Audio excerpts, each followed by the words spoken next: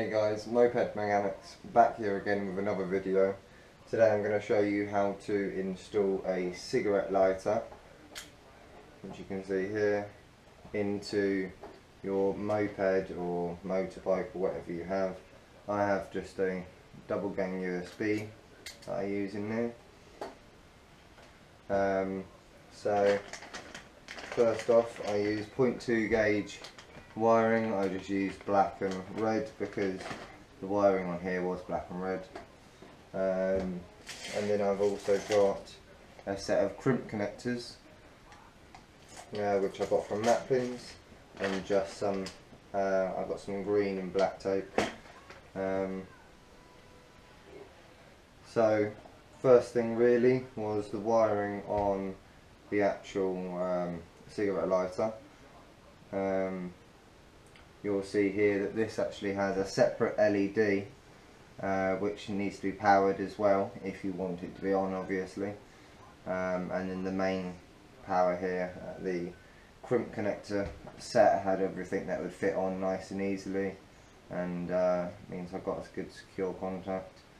Um, you'll see that there is quite a bit of tape on this wiring but it's mainly because I need to keep it all of the wiring together and I've got to go wire it down in certain places of the ped.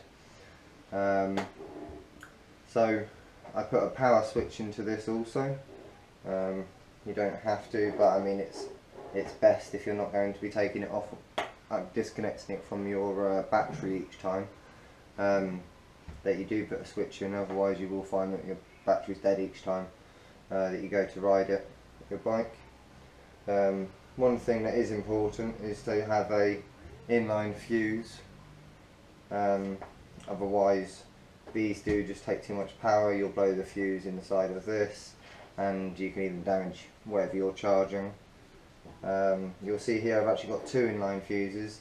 That's because I've got this connected off for a different thing uh, which is my LED light setup which I'll show you in a different video.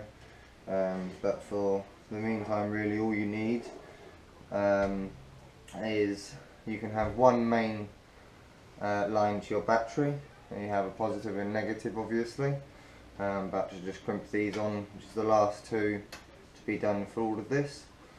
Um, run your wiring make sure you've got plenty of wiring all the way up to your switch. Uh, what you need to do is crimp connect your, your wires on um, these have been doubled up, that's because the switch also does the LED set, so I was just making sure that it can hold the amperage, because this wiring can hold 0.6, um, sorry, 6 amps, um, I think it's 100 volt, but we're only using 12 volt, but um, I mean, because it can hold 6 amps, it's perfectly fine, but I've just doubled up because of my LED kit.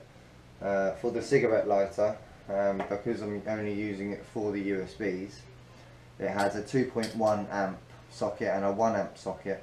So I said maybe the surge might be the highest of 4 amps when you you know when it first surges. Um, so I put a 5 amp fuse in for that. Um, so if we do have, do have any problems I can quite easily just change the fuse over. It's a blade fuse. Uh, all you need to do is just cut it down with some wire cutters. I mean preferably use an actual gauged one um, so then on here you'll see that you have a power, accessory and ground. Now the power is what you need to have your main line from your battery going straight into and that's on the left hand side and then the accessory one you need to go down into the power for your cigarette lighter um, and in the ground is only a ground for this light so that it has power. Um, and then that can be joined down uh, with the ground which is from your battery and that goes into your cigarette lighter.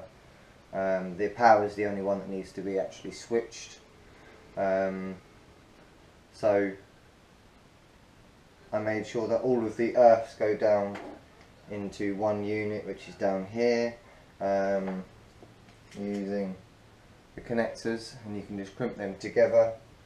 Um, and I've just taped them up also just to make sure that they don't come apart. And also the other problem um, is that the, all of these connectors they don't actually have got plastic guards. So I've had to tape them to make sure that they don't um, ground each other or touch. Um, so once you have the power coming up into this um, you can have the power just joined for the both for the LED as well um, because it will only draw what it needs to um,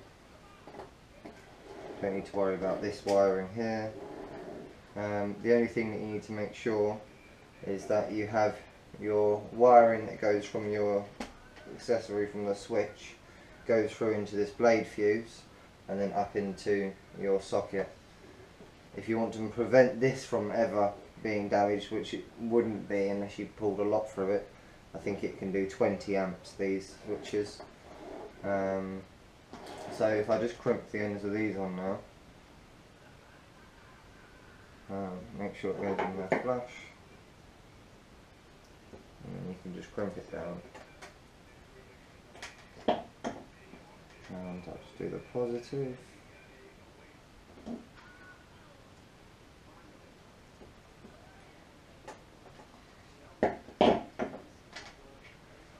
so now. You can just pop the positive on. And then your negative. And when you flick the switch you'll find that the socket's LED lights up and that my USB has, has its own LED that lights it up which is quite nice. Right, so now I've done all the cutting. Unfortunately, cutting the uh, cigarette lighter socket didn't go so well. I didn't have the right size, um, so it actually fell through. So I had to just cut it much larger so that I can sit it for the time being as a template until I do it again. Um, managed to get the switch in, but I need to use thinner plywood, unfortunately. Um, mainly because 18 mils way too much for it to actually go to screw one properly. I managed to get the uh, bungee cords in nicely though, but see I have a crack in the side of my uh, seat so that my uh, cables can come out quite nicely, but you can just drill a hole. Um, obviously I wouldn't expect you to have any damage to it.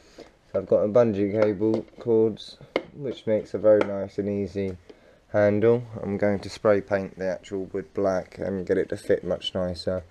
I have some other pieces, as you can see one over there, which is ready to be uh, done.